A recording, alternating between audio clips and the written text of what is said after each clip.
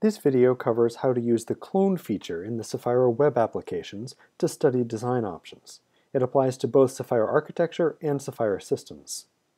Sefaira is designed for early stage analysis, and early analysis is all about comparisons, being able to understand which options are best or which strategies have the best impact. Therefore, one of the central features of the web applications is the comparison grid, which you can see at the top of the screen here. Here you can copy a design option, change the inputs, and quickly create comparisons.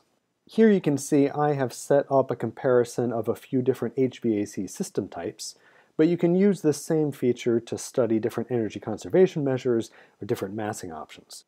Let's say we want to create a new clone in order to study improved glazing properties. So in order to create a copy or a clone, you can click the clone icon on any of the rows. You can see it here in the top row that's highlighted, or uh, to the left of the massing image in any of the other rows. You can also click this button at the bottom in order to copy whichever concept is active at the time. So let me go ahead and copy the baseline concept. And now I'm going to click on that new clone that I made in order to edit the inputs whatever option is highlighted in the concept comparison above, those are the inputs and the outputs that you will be able to see in the interface below. So I will click that copy and then we'll come over here and adjust the glazing properties of this new option that we made. Let's go ahead and reduce the U factor for the glass and let's also bring the solar heat gain coefficient down. Now you can see as I make these changes, the results in the result grid automatically gray out to indicate that um, the results need to be updated.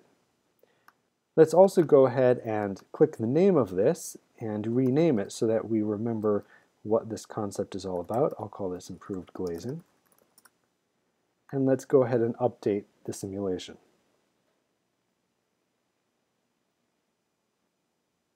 So you can use that same uh, method to compare any changes in inputs, uh, not just envelope changes, but also shading elements, uh, any HVAC options if you have Sefaira systems, um, adding solar panels uh, to a building, etc. You can also use the clone feature and the comparison grid to compare different massing options. So let's make a new copy of the baseline concept and we'll take a look at how we can swap out the building geometry for an alternative version.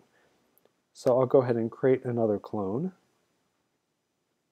And I'm going to go ahead and move this up to the top. You can see that just by dragging and dropping it can reorder any of these design concepts. And the use case for this is in early design if you're looking at different massing options or you're making a change to the geometry, you can simply swap out the old geometry for the new geometry and keep everything else uh, essentially the same. All of the settings and all of the space uses that you've set up will remain the same and only the geometry will be changed out. The way to do that is to click on the massing image. You can see when I hover over there's a change uh, icon that appears. And if I click that icon, a massing library will appear.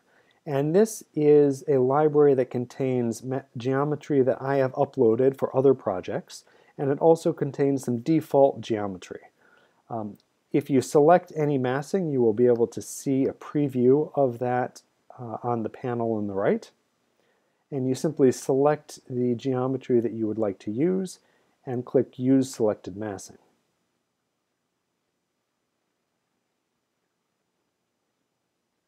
And the geometry now is swapped out for the new geometry, and of course I need to rerun the simulation uh, to see the new results. A couple final things to note about clones.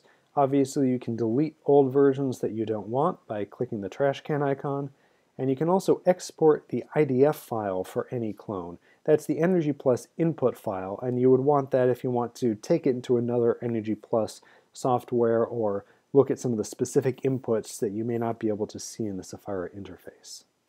So that's how you can create clones and use them to study different massings or design options, different HVAC system options, and different types of energy conservation measures.